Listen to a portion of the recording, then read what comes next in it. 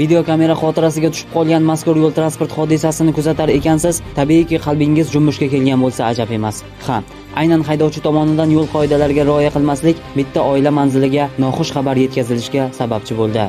2021 yil 15 avgust kuni soat 21:00 larda xalqaro ahamiyatga molik A380 yo'lining 58-kilometri Qarshi shahar bolalar sayilgoh ro'parasida yo'lning yoritilmagan qismida haydovchi o'zining boshqaruvida bo'lgan Lacetti rusumli 70S 720 NA davlat raqam belgili avtomashinasi bilan yo'lning yoritilmagan qismida piyodalar o'tish uchun mo'ljallangan qismidan kesib o'tayotgan piyodalarni urib yuborib, yo'l transport hodisasi sodir etgan. To'g'ri, har birimiz uchun vaqt muhim ahamiyat kasb etadi. Balki shu kuni haydovchi kech bo'lganligi uchun uni tez va rolni bee'tibor boshqarishiga sabab bo'lgandir. Lekin uning aybi bilan bir inson uyiga bejon qaytdi.